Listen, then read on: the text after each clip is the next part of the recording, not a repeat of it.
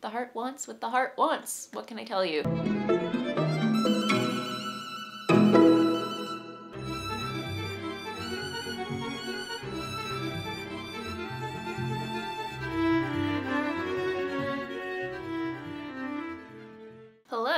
Kristen, also known as Vine, here on my YouTube channel, on Instagram, on Ravelry, and pretty much everywhere else on the interwebs. And as always, I'm so happy that you're taking some time out of your day to chat about all the knitting, all the sewing, all the making, or whatever crafty rabbit hole I happen to be diving down this week. So if you're a new viewer, welcome to the channel, my little spot on the interwebs. And if you are a returning viewer, you might notice something a little different happening in the background. Yes, I, over the past weekend, I reorganized, revamped, redistributed the furniture within my craft room. I gave it a major overhaul and it's making me so happy, you guys. Um, I'll chat more about that in the blather segment of, of the episode where I chat about life stuff. Uh, but yeah, I did maneuver things around and my sewing table is no longer behind me. It's in another corner of my craft room. Uh, but right now we have we have a new setup. But uh, more on that later. Uh, but just to clarify any confusion you might have, like what, what happened?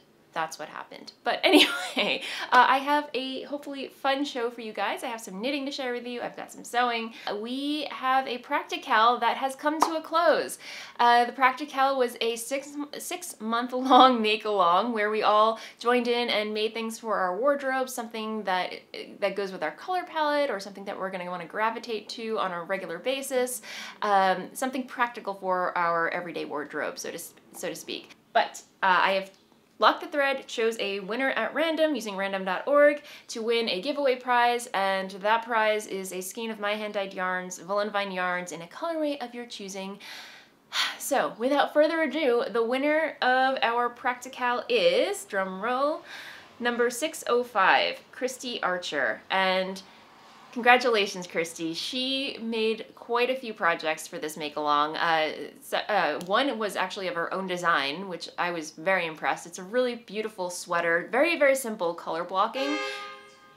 Welcome to Brooklyn. It was like a two-tone sweater, uh, color blocked, separated by a Latvian braid going across the chest. I thought it was a really clever way to transition between both colors, so congratulations, Christy. So please get in touch with me using the email below and let me know uh, your shipping info and what colorway you would like me to dye and which base. Uh, I will be able to dye that colorway on my footsie base or my Nouveau base. So let me know and I will get your prize out to you as soon as I can.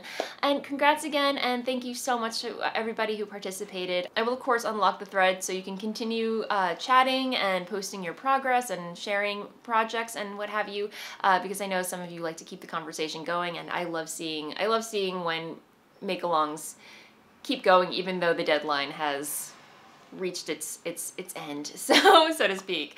Um, but yeah, so that leaves us with one make along currently in place, and that is our History MAL, our history make along. And I just started this make along. I, I announced it last week, and again, this is a year long make along where those of us who are interested in making historical garments uh, can join in and and and do that. So same idea as the PractiKAL. It can be any any project you want. It could be knitting, sewing, weaving, crochet, any craft is welcome as long as it harkens to some other era or time period in history uh, prior to the 1950s, uh, just to keep it historically in the past, so to speak. Um, I figured the 1950s is a good cutoff point because everything after the 1950s I feel is kind of vintage, but not that that's a bad thing, it's just we're trying to keep things antique so to speak. I am probably making no sense, but anyway, that is what I settled on, the 1950s. Yes, it can be Edwardian era, it can be Victorian, it can be Regency, you, you can hop to any kind of time period that you want. So uh, I start I opened that thread in the Ravelry group, which is the place to be if you want to join in on these make-alongs, and it's already bustling, pun totally intended, uh, with conversation and ideas and projects, and it I'm just so happy that you guys are so excited for this. Um, so yeah, it's where we endeavor to make make historical garments, and they don't have to be historically accurate. Um, they can be historically inspired, uh, as long as you can can convince me that it is based on a another time period before the 1950s. that was a lot of rambling, but I hope you get the gist of it. Uh, yes, it is going to be a year-long make-along, so from March of 2020 to March of 2021, have fun, have at it, and I'm so excited to see all of your wonderful and amazing projects um, to come. So yeah, and I will talk more about my projects that I have in the works uh, later on in the episode, but I think, I think that is pretty much it for announcements this week. First up on the docket is a new cast on because I promise guys, the Sock Mojo is not back. It's not back. This is just a project that I work on while I'm watching TV because I don't have to pay attention to what my hands are doing. I just go on autopilot and before I know it, I have a finished sock. And here we go. Um, some spousal socks may have commenced. and yeah, these are actually for Dennis. It's been a while since I knit Dennis a pair of socks and so uh, I've been wanting to cast on uh, a pair of socks with some hand dyed, some yarn that I dyed, and here we are. Um, yeah, so it, again, this is just a basic, a basic sock, one by one rib, cuff down, fish lips kiss heel, um, out of my hand-dyed yarn, Vine Yarns, in my Manderley colorway, a colorway inspired by the movie, or book I should say, uh, Rebecca by uh, by Daphne du Maurier and this is what it looks like up close and I am so in love with the way this is knitting up. Yes, and again, this is just my basic sock recipe. I'm still using US 1.5, 2.5 millimeter needles. Uh, the only thing that I did differently, uh, when I cast on a pair of socks for myself, I my go-to cast on number is 64, but when I knit a pair of socks for Dennis, I go up to 72 stitches. So um, I feel like that that stitch count usually fits him. And I actually had him try these on and it so far so good, even the heel. Um, and I'm trying to think what else I want to say about this other than, yeah, it's just been my TV knitting and, you know, it is a little bit more slow going because it has a, larger sti stitch count, so it takes me a little extra time to do each row, but not that, not that much. Almost half, pretty much halfway done with the first sock. Um, so yeah, sock, sock, I don't know. But yeah, uh, I'm trying to think what else. I think that's all I need to say about these. But yes, spousal socks, a phrase coined by the one and only Tommy of Squirrel Pie Productions and Moonstone Dye Works. She she's always knitting a pair of spousal socks for her husband. So I I, I purloined the term from her because I think it's brilliant. Anyway, yeah. Yay, spousal socks. Next up on the needles is still a work in progress, and that is my giraffe cowl. I'm I think that might just end up be the, being the name of this pattern once it's done. Um, but yes, this is a pattern in the works of my own design using my hand-dyed yarns, Vine yarns, uh, in two colorways on my croquet base. Um, and croquet is my new sport weight base. It's 100% superwash blue face Leicester. So in love with the way it's knitting up. It definitely has that toothiness that blue face Leicester is known for, meaning, you know, it's not, it's, it's not as soft as merino, so to speak, but it definitely has like a, a, durable feel to it, but at the same time, it still has like this softness to it. So yeah, it's like the best of both worlds pretty much. Here is where we are, and I'm a little bit more than halfway done with it. I'm aiming for 30 repeats of this um, traditional uh, Scandinavian uh, colorwork motif, and on the other side, it's just all these colorwork diamonds, which I, I really, really love. So the idea is that it's gonna wrap around twice around my neck, um, and it's just one big skinny tube that I'm knitting.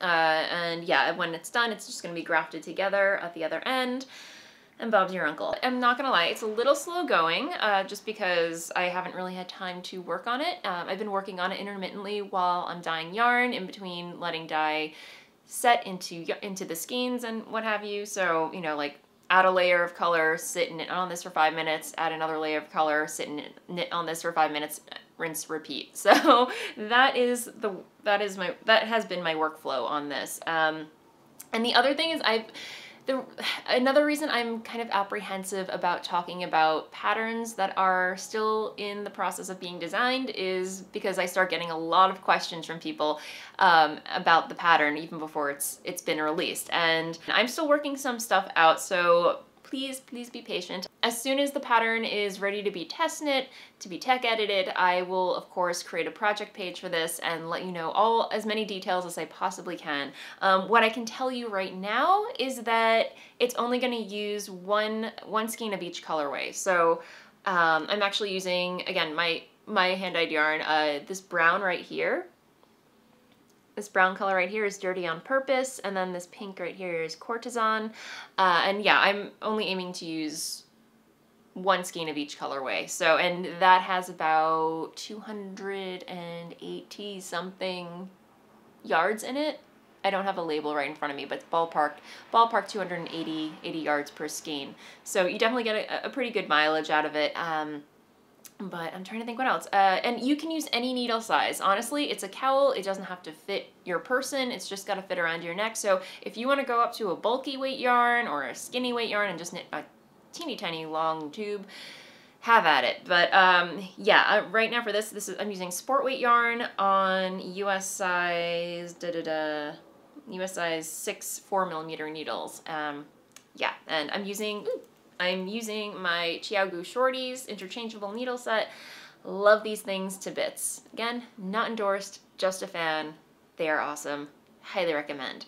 Um, yeah, and that's where my my giraffe cowl is at the moment. So no no date as to when I'm going to have it finished and published, but um, I will go ahead and create a project page on Ravelry so you can see what notes I have on it so far. So if you want to gather materials, um, shop my update for the yarn. Uh, anyway, uh, yeah, so that is where I am with that. The other thing that I pulled out of hibernation for, this has been languishing embarrassingly for, I want to say, six months, I think. I cast it on I think I cast it on in November, but uh, I finally picked up my Nightingale pullover, uh, my pattern by Norah Gaughan from Pom Pom magazine. So it's it's actually from this magazine, Pom Pom Winter 2018, where Norah Gaughan, uh, extraordinaire, was the guest editor of this issue, and she designed the cover, um, the cover pattern, which is the the Nightingale pullover. And yeah, so I used the yarn that was required, Quince & Co. Lark, in their Damson colorway, and it is absolutely everything that dreams, my, my dreams are made of. so here's the back. I finished knitting the back piece. It is knit in pieces, so you knit the back, then you knit the front, and then you knit the sleeves, and it all comes together magically somehow. Um, so here's where I am with the front. And of course, when you let these projects languish for so long, you kind of forget number one, you, you kind of forget specific details that are kind of important to the construction. So my biggest mistake so far is I knit the ribbing and then I completely forgot to go up a needle size when I got to the cable portion of things. So I continued knitting with US size 4s and did not switch to US size 6s. so about, I want to say, where, where these two cables cross over. But I, I figured it's only an inch after the ribbing, it's not going to matter. So fingers crossed, I think it's going to be okay. Um, but then I got to this point and then I realized I, you know, I was kind of, you know, laying the back and front pieces together and kind of admiring how lovely they look and how matchy-matchy and then something caught my eye. Once you switch to the larger needles, you're supposed to stop ribbing on either side of the stitch markers. and I completely forgot to do that. I just continued in ribbing. So after much swearing and, and humming and hawing, I looked at I looked at it and tried, you know, to figure out a workaround because I'm not gonna lie, this is not, it's not hard cabling. It's just, you have to pay attention at all times when you're working with cables like these. You can't just let, you just can't go on autopilot. So this was three days worth of work, um, you know, just finding spare time, you know, before and after work, a little bit in the morning, a little bit in the evening, and, you know, it was a lot of work. So I really was not psyched about having to rip back all that work just so I could knit stockinette on either side. So, you know, it's really simple what I ended up doing because because it was ribbing and didn't involve cabling, I just dropped down the stitches about 40, 45 rows and then took a crochet hook and crocheted all the way back up again. Um, and I did that successfully here. You can see a little bit of laddering happening here, but I think once it's blocked out, you're not even gonna notice it. And even if it is slightly noticeable after I block it, it's just gonna be on the side where my arms are gonna be. It's no one's gonna be like looking like that. And if they are, weirdo. So mischief managed on that side. I just have this side left to do. So it's not I'm so glad that it was just that that I had to worry about, but so far so good because I think if I had to rip all the way back, I would have to let this languish for like another six months or something, and that would just be sad. Anyway, so glad to be working on this again. I think after knitting the front, the, the back part, I kind of needed a couple of palate cleansers before I tackled knitting the same chart over again because, I don't know, that's how my brain works, and I, I needed a little bit of a break. Um, and unfortunately, I let it languish for longer than it should have. But yeah, um, in lieu of hosting the History MAL, it kind of got my butt back into gear and inspired me to pick this back up again. So very, very, very, very happy that I'm working on it again. So so I believe that is all the knitting content I have to share with you this week. Uh, I know I have some other projects languishing that need finishing, but the heart wants what the heart wants. What can I tell you? Anyway, I am going to move along to sewing because I have quite a lot of sewing to share with you this week.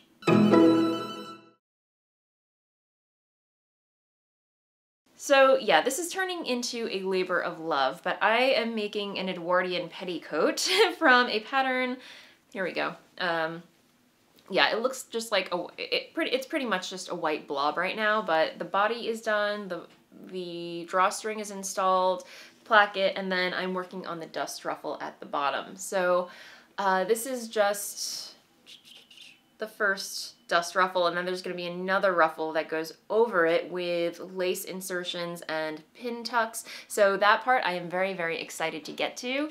Um, but yeah, this was, I'm not going to lie, a freaking labor of love to get through. So it was just like a long strip or circle of fabric that I had to uh, sew two lines of basting stitches in to gather gather it and then stitch it all around uh, to the actual skirt. And yeah it, not not complicated at all. Um, just a lot of a lot of tedious gathering. And gathering fabric does take quite some time I'm not gonna lie about that. Um, and the other thing this fabric is very um, like the the raw edges have a tendency to want to come unraveled. So yeah, I, you know, have a lot of, for some reason, it's just like very, very stringy right now, and I have to go through and unpick, uh, not unpick, but uh, just kind of like de, de-thread or de-string, like all these little random loose threads that are popping around.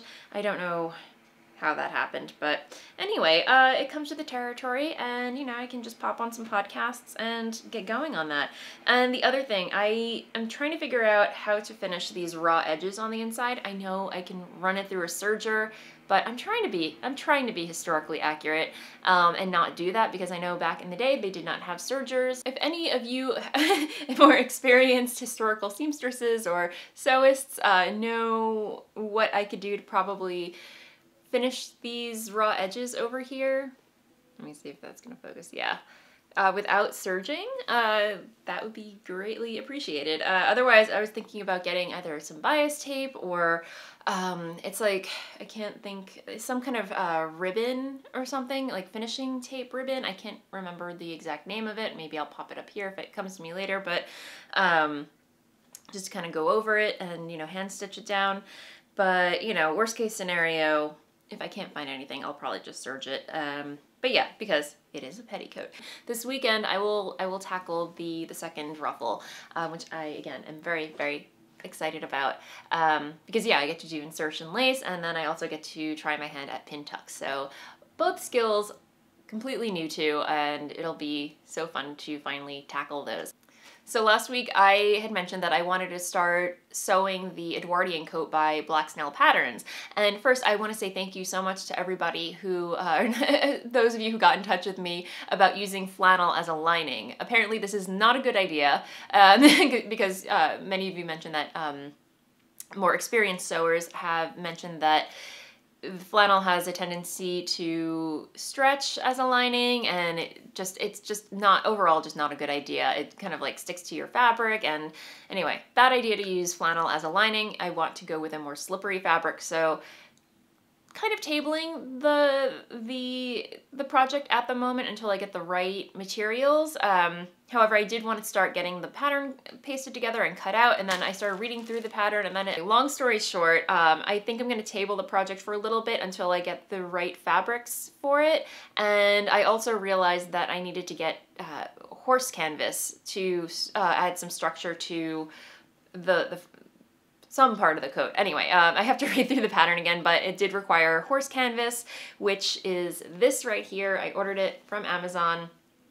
Um, and yeah, you've probably, if you're if you're into sewing, you've probably seen this before, but it's used to add structure to garments. Um, I want to say like primarily outer garments, like blazers, coats, jackets, um, and collar stands. And um, it's called horse canvas because it's I forget whether it's the warp or the weft, but um, one of them, one of either the warp or the weft is made of cotton, and then the either the warp or the weft is made of horsehair. So you can kind of see it's definitely lightweight, but it also you can tell like when you pad stitch it down to fabric, it'll add it some decent structure. And it was actually pretty timely because I saw that Bernadette Banner posted a video on her YouTube channel with another, she had a guest on there, Barbara, I'm forgetting her name, but she creates these beautiful, beautiful uh, bespoke um, corsets. They're incredible. I'll, you know, I'll link to the video down below, but she gives kind of like a little primer in pad stitching and working with horse canvas. So Again, that was really, really timely and really helpful. So I'm really excited, really, really excited to uh, get started working with this. Uh, so yeah, but I have the horse canvas. I just have to procure the right uh, lining for the Edwardian coat by Black Snail Patterns and I can get going. Um, but yes, in the meantime, finishing the Edwardian under things. Yes, so anyway, ah, all these all these new things that I want to tackle. Anyway, as you can see, these projects are very, very slow going, very time consuming, and require quite a bit of patience, something that I am not particularly used to. Um, if you've followed my, my sewing journey, you know that I generally crank out dresses and you know garments in a weekend or a day what have you um, and yeah this is a total learning curve for me in just learning to be patient and take things slowly. And so it's definitely been a lesson in that. And I'm, I'm learning to appreciate slow fashion. It's just you know taking your time be very being very mindful. Um, and you know when you do put that much work into into a garment it's you I don't know it's it makes the finished product that much more special. Um, so yeah, I'm having a lot of fun with it, and I'm again I'm excited to see where it all goes, what I come come out with, and oh yes, so that's what's in the works right now. Uh, again, this weekend I'm gonna finish the pet. I'm gonna attempt to finish the petticoat um, and get something started because I, I I do need something I do need a little instant gratification in my life just to kind of treat myself, so to speak. So anyway, uh, I will keep you posted on that. And, and I'm trying to think what else. Um, I did have some new patterns come into my life. Um, again, from Folkwear, they were actually having a sale, I think like 25% off of their patterns. Twist my arm. There were some patterns that I did want to get to go with my Edwardian walking skirts. The first pattern that I got is the Gibson Girl blouse which is this one. I don't know how well you're going to be able to see it, but there we go. So it has, you know, it's very Edwardian. It has lace insertions, has a ruffle. There are a couple different views for it. Uh, and then there is the Armistice blouse, which again, very, very Edwardian. And these are going to go so well with my walking skirts. Oh, yeah, it's, it's going to be so great. Um, and I, again, I don't generally follow popular fashions or, you know, what's in style or on trend at the moment, but at the moment, the Edwardian look is coming back. I don't know, I, I'm completely here for it. I'm so excited. It's browsing H&M and Zara and twist my arm. Normally I just go into those places for the basics, but I could not resist. So I did I did purchase some some store-bought items that harkened back to Edwardian times. And yeah, so don't judge me please don't judge me but anyway uh, I, I i'm still going to be making my own my own garments because that that's the whole fun of it am i right am i right um. But yay, new patterns, and I can't wait to dive into those. Uh, and again, these are projects that I'm working on for the history make along that we're doing. Uh, and you know, I also, oh yes, that I totally forgot. I purchased this a while back, and for those of you into crochet that would like to partake in the make along, highly recommend this. Um, Victorian Crochet by Weldon and Company. So if you're not familiar, Weldon's, uh, they had, I want to say they were like a periodical that would come out and they would have several knitting or crochet or needlework patterns in them. This is, I believe, a compilation of all their crochet patterns from the Victorian era. So it's just, oh, this makes my heart sing so much, guys. Uh, there was, you know, if you do want to like do a crochet granny square blanket, they have this. Um, let me see, they have some petticoats in here, of course, as well. And there's one, oh yes, yes, yes. This I might have to do at some point, but um, it's a chemise, but with a crochet lace insertion. So I might have to make this for myself at some point. Um, but definitely check that out. I will link to it below. Uh, the other thing that I do want to point out is that a lot of these patterns are available for free on the Library of Congress website. I found a whole treasure trove of both crochet and knitting patterns and sewing patterns on there, and I'll try and link to some of those below as well, but they just the Library of Congress just scanned in all these antique, uh, you know, again they have Weldons and ma knitting manuals from days of yore, and they're all they're all right there. I definitely fell down a rabbit hole of just browsing through, um, and I am I am feeling tempted to tackle a a Victorian antique knitting pattern verbatim because if you're not familiar with those patterns the way they're written are nothing like the way that they're written today they're pretty much um, they, they pretty much assume that you already know how to knit, crochet, or whatever craft that they're talking about. So, you know, you, you have to come to it with a perspective of, you know, when they say like finish in the usual manner, you got to dive into your own toolbox and figure out what the usual manner is. but uh, I do want to say that this book right here, she, uh, let me see, who edited this? Florence Weinstein. I have no idea who that is, but she wrote an introduction and she basically breaks down the terminologies into modern terms. So you're not left hanging. But uh, with the, the Library of Congress ones, you're probably going to have to do your own research and figure out what those terms mean. But hopefully, if you, if you are a proficient knitter uh, or seasoned knitter, sewist, or whatever, it should be pretty obvious, but um, just to give you guys a heads up about that. But hey, check that out. Okay, on to, on to life stuff. Um, so yes, as I mentioned, I reorganized my craft room. And this has kind of been an ongoing thing since I moved in, since Dennis and I moved into this house, I want to say five years ago, which is totally good. Was it five years? I want to say like four and a half years ago, maybe who knows? It's been a while since we moved in here, uh, and time does fly. And I think I've reorganized the furniture in my craft room many times. I want to say about like four or five times, so to speak. Um, and I think this is the setup that actually works. It's so much more functional, so much more room, and holy cow, it's total, it's a total game changer. I wanted to create kind of a photo nook for myself where I could, you know, take photos of my finished objects as opposed to just, you know, setting up a, a background, which I've been doing for the gram, for Instagram. Um, that I just wanted something where I could just set my camera up and click, point, shoot, and and go basically. So I think this kind of accomplishes that. I don't know, I'm still working and I'm still working on it, but for the most part, I moved uh, the chaise longue that was in my dye dungeon. Um, it, it, was just, when I when I decorated my dye dungeon or set that up for my business, uh, I had these grand plans that I was gonna host some knit nights down there. throw some parties and um, yeah, I, I finally realized that I'm actually an introvert and that's really not my jam. Um, even though I love going to knit nights and I, I just don't like the hosting aspect of them.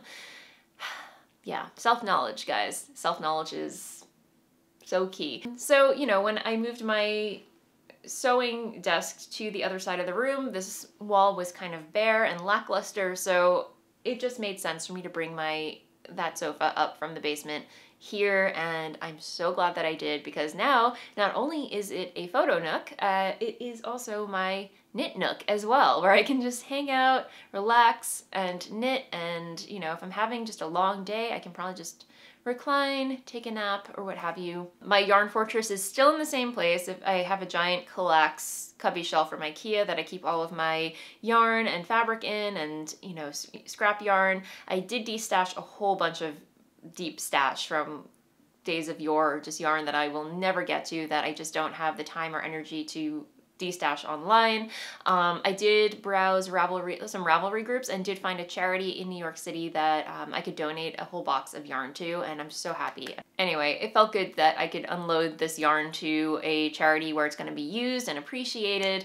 Um, so yay! Uh, and of course, I will link to the address or post the address down below if you would like to donate some of your own yarn to there. Um, I'm sure they can use all the yarn and crochet hooks they can get. So Yay! Allergies. Suddenly my nose is itching like crazy. the struggle's real. I apologize for any excessive nose itching that happens in this episode. Um, yeah, in other news, uh, Dennis and I went to the movies last weekend. We saw uh, Emma, which, and I'll be totally honest, Emma is not my favorite story uh, by Jane Austen, uh, but anyway, the costumes were just really, really beautiful. Uh, I actually, before I saw the movie, I, I got I got Vogue magazine, uh, the da, da, da, da, da, February issue, and they did an interview with the actors from there, and yeah, you got a glimpse of some of the costumes, and they were so pretty. I could not resist. I had to. I I I was there for the costumes basically. So yeah, you get to see all the beautiful, pretty costumes. I mean, that Spencer. This is what you call a Spencer, for those not familiar. Um, it is a it is a Regency era coat that would go over a dress, and they called it a Spencer, and I am just so stinking in love with that. And also, why can't guys, why can't guys dress like this today? I mean, anyway, just completely obsessed with the costumes in this in this movie. So anyway, even if you are not a Jane Austen fan, I definitely recommend going just for the costumes alone. They were absolutely beautiful. So uh, there is that. And then I'm trying to think what else. There is something. Oh, yes. Speaking of the Regency era, I should mention that uh, Zack Pinsent, uh, if you're not familiar with it, with him, he is a historical bespoke tailor. So he's based in the UK. He pretty much dresses in historical garments, historically accurate garments on a daily basis, which I admire so much. He is actually, he's hosting a photo challenge over on Instagram called Modernless March. And he's prompt, you know, it's as these uh, Instagram photo challenges typically go, every day you get a different prompt. And I cannot resist hopping on the bandwagon. So every day I've been challenging myself to post a photo um, based on those prompts. So, uh, you know, if you are partaking in the History MAL, this might be right up your alley. He does mention that anyone is welcome to partake in the challenge, uh, you know, but I feel like it speaks more to people who are into historical garment making, sewing, knitting, what have you. Um, so yeah, if you are into that, definitely, definitely check it out. i am joining in and I've joined in and I'm having a lot of fun with it. Um, you know, and it also gives me a chance to kind of like up my Instagram game because normally I'm only posting my shop update stuff, finished objects, and you know, I do want to start posting a lot more very um, I want to start posting more variety on my Instagram feed because you know, it's just a, a matter of finding the time and words because sometimes words just escape me and I can't word. It takes time to write captions, guys. I'm not gonna lie. It's writing does not come naturally to me, but when I work on it, it's like a muscle. The more you work on something, the, the faster and more easier it comes. So I'm finding that that it's working. So anyway, I'm having a lot of fun with that. Definitely check it out. Um, and I think I think I will end things there. So thank you as always for hanging out with me this week. If you enjoyed this episode, feel free to like and subscribe below. I put out a video, I put out an episode every Friday for your viewing pleasure. And that said, happy knitting, happy sewing, happy making, and I will see you next time.